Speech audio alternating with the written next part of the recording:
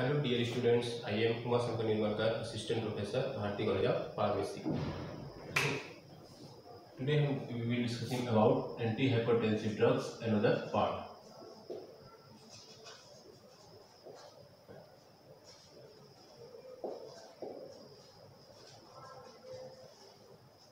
and other part of anti hypertensive drugs हमने previous class में study किया था आर एस सिस्टम में, एक drug acting on R S system जैसे आपके renin inhibitor renin release inhibitor ACE inhibitor और आपका एटी वन रिसेप्टर ब्लॉकर्स के बारे में या एटी रिसेप्टर एंटागोनिस्ट के बारे में। अभी हम डिस्कस करते हैं आपका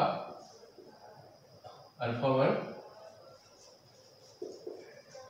रिसेप्टर ब्लॉकर या antagonist alpha one receptor blocker का मीनिंग होता है कि आपका, आपके हार्ट पे ही अल्फ़ा वन रिसेप्टर प्रेजेंट होता है। तो उसमें हम देखते हैं कि आपके अल्फ़ा वन रिसेप्टर प्रेजेंट होते हैं alpha alpha one receptor blocker में आपके ड्रग्स आते हैं। Prazosin and terazosin. तो ये आपका, अगर हम हार्ट की बात करेंगे तो आपका ये जंक्शनल न्यूरॉन है, उसके आप, उसके बाद आपका आता है post junctional neuron post junctional neuron उसमें हम देखते हैं कि आपका इस प्रोसेस में आपका ऑटो रिसेप्टर भी होता है अल्फ़ा टू तो इसमें आपका प्रोसेस पूरा चलता है, जिसमें से आपका nor adrenaline this is a nor adrenaline this is a neurotransmitter this is synthetic या एडरेनर्जिक न्यूरोट्रांसमीटर वो आपका रिलीज़ हुआ। रिलीज़ होने के बाद वो आपका आता है सिनेप्टिक क्लैप में। सिनेप्टिक क्लैप में आने के बाद आपका जो पोस्ट आपका जो पोस्ट सिनेप्स होता है, उसमें होता है receptor this is a alpha one receptor alpha receptor होता है। अल्फ़ा रिसेप्टर बाइंड होता है। G protein couple receptor G Q G Q G Q receptor होता है। इसमें क्या होता है, जो आपका नॉर एड्रेनलिन है नॉर एड्रेनलिन आके यहाँ पे क्या होता है ब्लॉक होता है। सॉरी यहाँ पे आके क्या होता है अटैच होता है या बाइंड होता है। बाइंड होने के बाद आपका जो जी प्रोटीन कपल रिसेप्टर का जो जी क्यू है, वो एक्टिवेट होता है। जी क्यू के कारण एक्टिवेट होता है आपका I P three pathway this is a inositol three phosphate inositol 3 phosphate pathway this is a inositol 3 inositol three phosphate inositol three phosphate process आपका चालू होता है, जिसके कारण से आपका फॉस्फोराइजेशन का प्रोसेस होता है।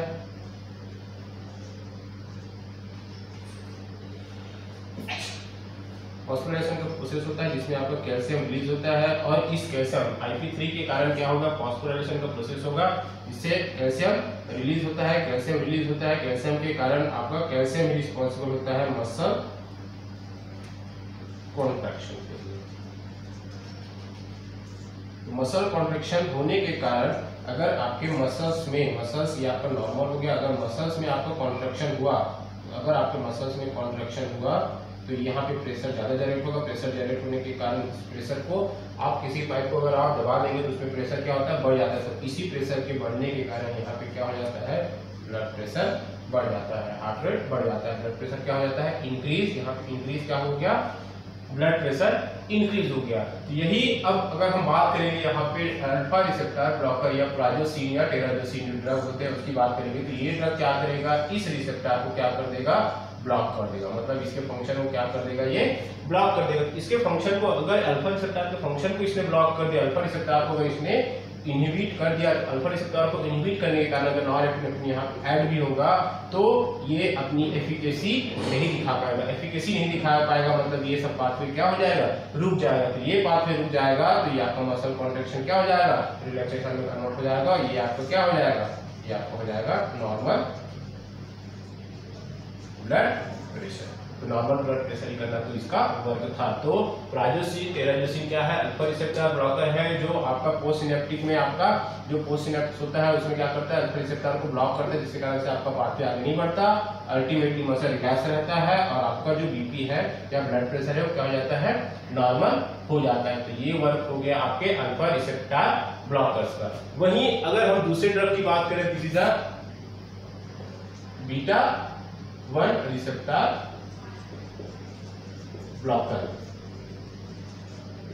beta one receptor blocker मतलब आपका वो ड्रग जो बीटा बीटा वन रिसेप्टर पे एक्ट करेगा। बीटा वन रिसेप्टर पे तो बीटा वन रिसेप्टर आपका ड्रग है आपका एटीनो लॉल ठीक है तो बीटा वन रिसेप्टर ब्लॉकर या beta beta one receptor antagonist की बात करेंगे तो आपका एटिनोलॉल तो एटिनोलॉल भी आपका वैसे ही वर्क करेगा जैसे आपका, वैसे ही आप, जैसे, वैसे ही वर्क करेगा जैसे आपका अल्फ़ा वन रिसेप्टर और वर्क कर तो अल्फ़ा वन रिसेप्टर आपके अल्फ़ा वन पे एक्ट करेगा, लेकिन बीटा वन रिसेप्टर क्या करेगा? वो बीटा वन पे एक्ट करेगा। तो ये भी आपका, अगर हम प्री की बात करेंगे प्री प्री जंक्शन आपका या प्री न्यूरॉन की बात करेंगे, या प्री सिनेप्टिक न्यूरॉन की बात करेंगे तो वहाँ भी आपका यहाँ भी आपका alpha two this is auto receptor तो यहाँ से भी आपका क्या होगा? नॉन एपिनेफ्रिन रिलीज़ होगा। कहाँ पे? सिनेप्टिक क्लैट में। आपका सिनेप्टिक क्लैट में क्या हुआ नॉन एपिनेफ्रिन रिलीज़ हुआ वैसे ही आपका यहाँ पे पोस्ट सिनेप्टिक आपका पोस्ट सिनेप्टिक न्यूरॉन भी है। This is a pre synaptic neuron this is a post synaptic neuron post synaptic neuron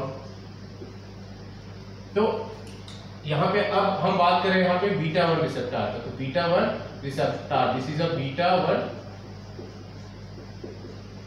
receptor अब बीटा वन रिसेप्टर क्या करता है? बीटा वन रिसेप्टर जो होता है this is also a G protein couple receptor this is a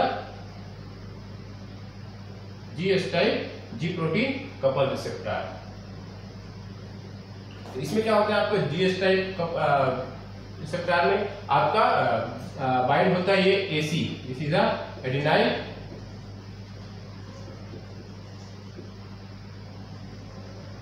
cyclase तो आपका जो जी प्रोटीन कपल रिसेप्टर का जीएस पोर्शन होता है, वो एडिनाइल साइक्लेट के साथ बाइंड होता है। तो अब इस प्रोसेस में हम देखते हैं कि जो आपका जो प्रीसिनेप्टिक न्यूरॉन से जो नॉन एड्रिनलिन रिलीज़ हुआ था this is a non adrenaline या नॉन एपिनेफ्रिन नॉन एड्रीनलिन या एपीनेफ्रिन नॉन एपिनेफ्रिन ठीक है तो ये आपका रिलीज़ हुआ सिनेप्टिक क्लैट में, उसके बाद ये आके बाइंड हो गया किससे? बीटा वन रिसेप्टर से। बीटा वन रिसेप्टर से आके बाइंड होता है देन आपका process G protein couple receptor आपका प्रोसेस आपका स्टार्ट होता है।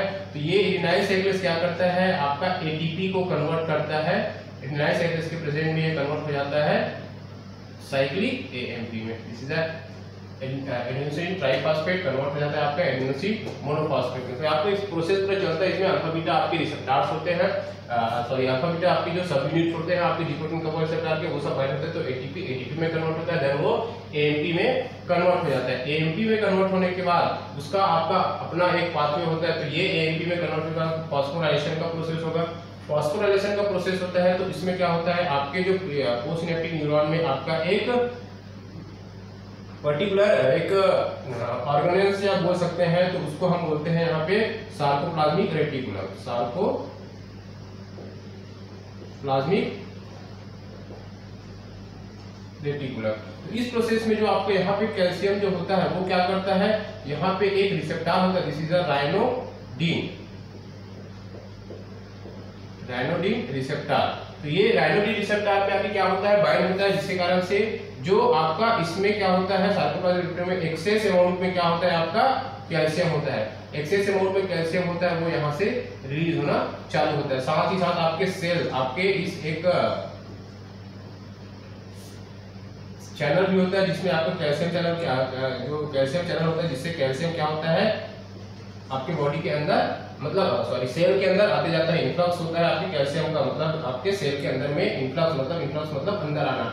और ये भी साथ में आपका जो एक्स्ट्रा अमाउंट में कैल्शियम रहता है, उसको भी ये क्या करता है? रिलीज़ करता है। तो यहाँ पे क्या होता है? एक्सेस ऑफ़ कैल्शियम आयन तो नॉन जो नॉन एपिनेफ्रिन होता है, वो बीटा और रिसेप्टर के साथ आके बाइंड हुआ, जिसके कारण से आपका जो जी कपल रिसेप्टर है, वो एक्टिवेट हुआ और जो होता है, आपका मतलब प्राइमरी पाथवे वो एटीपी को साइक्लिक एएमपी में कन्वर्ट करता है साइक्लिक एएमपी फास्फोराइलेशन का प्रोसेस करता है, जिसके कारण से कैल्शियम चैनल कैल्शियम जो आयन है, वो एक्टिवेट होता है, वो राइनोडिन रिसेप्टर में बाइंड होकर जो सार्कोप्लाज्मिक रेटिकुलम में एक्सेस अमाउंट में स्टोर अमाउंट में जो कैल्शियम आयन रहता है, उसको क्या करता है, वो बाहर रिलीज़ करता है। बाहर रिलीज़ मतलब आप जो सार्कोप्लाज्मिक रेटिकुलम है, उससे बाहर रिलीज़ करता है। उससे बाहर रिलीज़ करता है तो यहाँ पे आप कैल्शियम आयन का अमाउंट क्या होगा?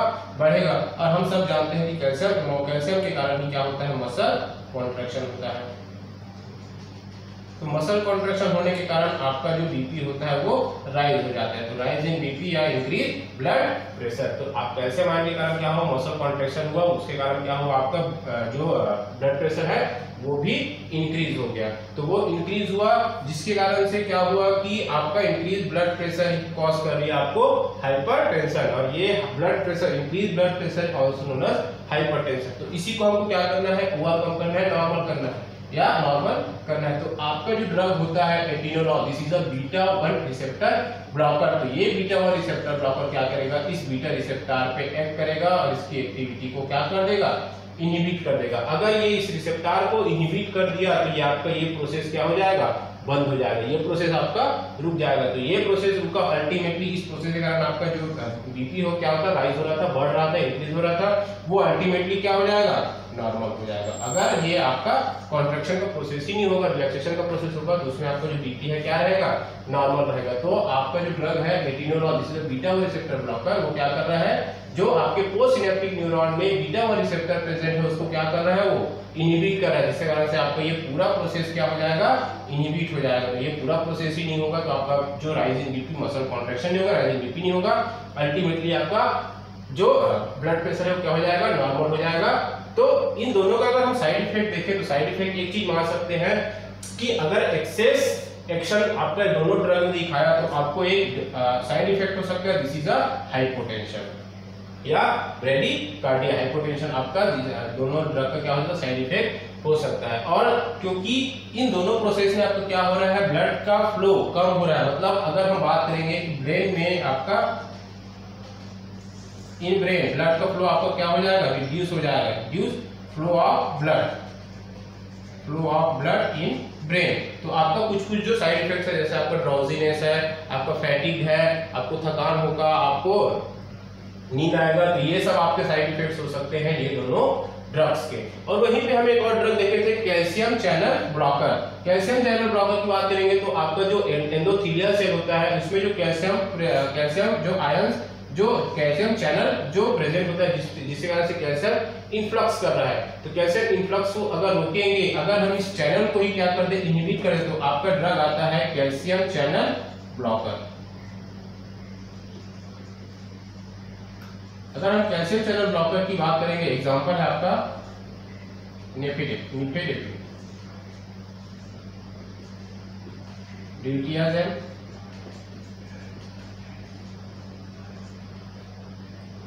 तो ये ड्रग है जो आपको कैल्शियम चैनल को ब्लॉक करता है। अगर ये ड्रग आपके कैल्शियम चैनल को ब्लॉक कर दिया, इस चैनल को ब्लॉक कर दिया तो कैल्शियम का इनफ्लक्स क्या हो जाएगा?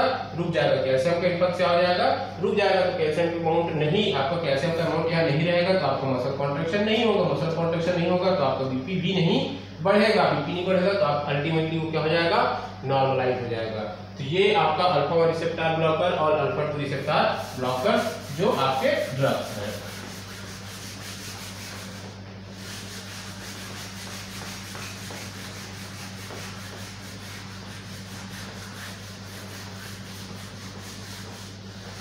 इसी कैटेगरी में एक और ड्रग था, आपका सेंट्रल सिंपैथोलाइटिक्स सेंट्रल सिंपैथोलाइटिक्स अगर सेंट्रल सिंपैथोलाइटिक ड्रग्स की बात करें सेंट्रल सिंपैथोलाइटिक ड्रग की बात करें तो इसमें आपका ड्रग आता है क्लोनिडीन क्लोनिडीन या and methyl dopa both drug are central sympatholytic drug तो ये जो बोथ ड्रग होते हैं, ये एक्ट करते हैं ऑटो रिसेप्टर्स पे. तो ऑटो रिसेप्टर्स का हम फ़ंक्शन देखते हैं. This is alpha two receptor तो ऑटो रिसेप्टर की बात करेंगे तो ये क्या होता है जो आपका non epinephrine this is a pre synaptic neuron this is a pre synaptic neuron और ये आपका alpha two this is auto receptor auto receptor का एक फ़ंक्शन होता है कि ये ऑटो रिसेप्टर प्रीसिनेप्ट में ही आपका प्रीसिनेप्टिक न्यूरॉन में प्रेजेंट होता है और वो न्यूरोट्रांसमीटर के रिलीज़ को क्या करता है? रोक देता है। न्यूरोट्रांसमीटर के रिलीज़ को इनहिबिट कर देता है। तो न्यूरोट्रांसमीटर आपका रिलीज़ होता है, आपका नॉरएपिनेफ्रिन कहाँ आता है सिनेप्टिक सिनेप्टिक क्लास में। और ये आपका एक्ट करके क्या करता है? न्यूरोट्रांसमीटर के रिलीज़ को क्या करता है? इनिबिट करता है। तो इसको हम ऑटो रिसेप्टर का आप ऑटो रिसेप्टर का रोल देखेंगे तो ऑटो रिसेप्टर आपके प्रीसिनेप्टिक न्यूरॉन में प्रेजेंट होता है और वो न्यूरोट्रांसमीटर के रिलीज़ को क्या करता है? इनहिबिट कर देता है। न्यूरोट्रांसमीटर के रिलीज़ को क्या करता है? इनहिबिट कर देता है। तो जो आपका क्रोनिडीन और मिथाइल डोपा है, इसीलिए इसको बोला जाता है सेंट्रल सिंपैथोलाइटिक्स सेंट्रल सिंपैथोलाइटिक क्योंकि ये सेंटर में ही एक्ट कर दिया, ये प्रीसिनेप्टिक न्यूरॉन में ही एक्ट कर दिया। तो बोथ ड्रग्स और एक्ट ऑन अल्फ़ा 2 रिसेप्टर तो ये अल्फ़ा 2 रिसेप्टर को क्या करता है? इनहिबिट करता है। तो अल्फ़ा 2 रिसेप्टर को इनहिबिट करेगा।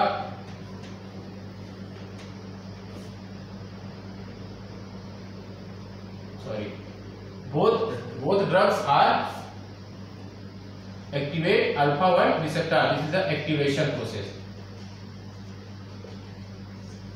This is the activation process. Clonidine and methyl are central sympatholytics. They activate the alpha 2 receptor. They activate the alpha 2 receptor या stimulate the alpha receptor. तो alpha receptor stimulate होगा तो वो क्या करता है उसका सेंट्रली जो एक्टिंग होता है this is a neurotransmitter inhibitor तो वो आप, वो क्या करता है जो न्यूरो ट्रांसमीटर का वेसाइकल वेसाइकल क्या होता है? यहाँ पे आके फ्यूज होता है। फ्यूज होने के बाद वो धीरे धीरे रिलीज़ होता है। तो उस फ्यूज और रिलीज़ के प्रोसेस को क्या करता है? तो न्यूरो ट्रांसमीटर रिलीज़ को क्या करता है? वो रोक देता है। तो अल्फ़ा टू रिसेप्टर एक्टिवेशन के कारण मिथाइल डोपा और क्लोनिन ने क्या किया? Alpha two receptor auto receptor को क्या किया? उसने एक्टिवेट कर दिया, जिसके कारण से अल्फ़ा टू क्या कर देता है? इनहिबिट कर देता है किसको release of nor adrenal release of nor adrenal मतलब ये नॉर एड्रिनल रिलीज़ होगा पोस्ट सिनेप्टिक न्यूरॉन में पोस्ट सिनेप्टिक न्यूरॉन में क्या होगा? एक्ट होगा। पोस्ट सिनेप्टिक न्यूरॉन में एक्ट होने के बाद आपने दो पाथ देख लिया था।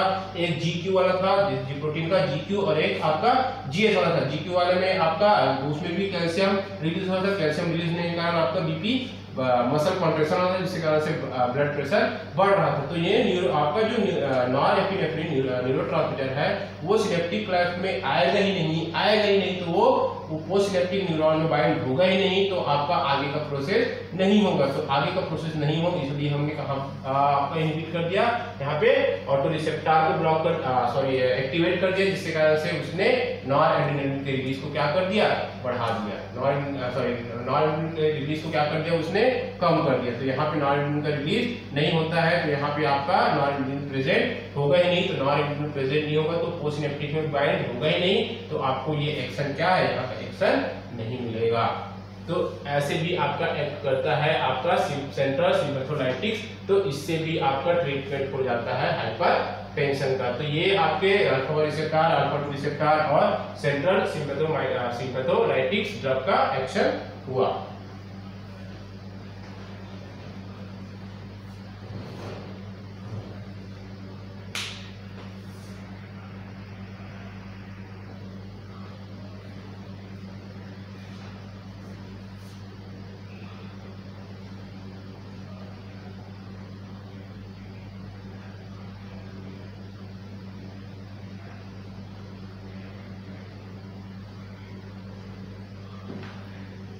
ये आपका सेंट्रल सिंथेथोलाइटिक ड्रग हो गया।